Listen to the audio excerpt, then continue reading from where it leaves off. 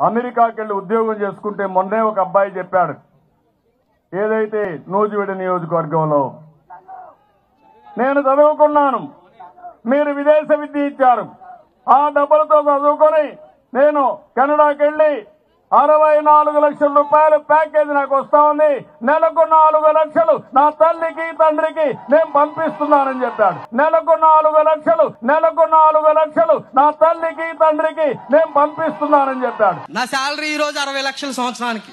మీ ఇంటికి ఏమైనా డబ్బులు పంపిస్తున్నావా? పంపిస్తున్నా సార్. ఎంత పంపిస్తున్నామ్మా నాలుగు లక్షలు పంపిస్తున్నా సార్. నాలుగు లక్షలు. నాలుగు లక్షల రూపాయలు సంవత్సరానికి తిరిగి ఇంటికి పంపిస్తున్నాడు ఉదయ్ కుమార్. గట్టిగా చప్పట్లు కొట్టి అభినందించండి. నెలకు నాలుగు లక్షలు నా తల్లికి తండ్రికి నేను పంపిస్తున్నానని చెప్పాడు. నాలుగు లక్షల రూపాయలు సంవత్సరానికి తిరిగి ఇంటికి పంపిస్తున్నాడు ఉదయ్ కుమార్. గట్టిగా చప్పట్లు కొట్టి అభినందించండి. అమెరికాకి వెళ్ళి ఉద్యోగం చేసుకుంటే అప్పుడు అమెరికా వెళ్ళలేము. ఇప్పుడు ఇంట్లో చనిపోయారు అనుకో రావడానికి మూడు రోజులు నాలుగు రోజులు పడుతుంది. ఆ సేవను అలానే ఉంచాల్సి వస్తుంది.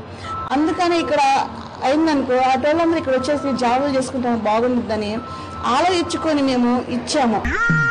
అంత ముందు సెక్యూరిటీ గార్డు చేసేదాన్ని నేను. మేమేమైతే ఇవ్వలేదండి అసలు ఇంతవరకు. మా సెంటు భూమి లేదు. ఇప్పుడు సచివాలయం కట్టారు. ఆ సచివాలయంలో నా పొలం ఉంది. మరి నాకు ఇస్తారా?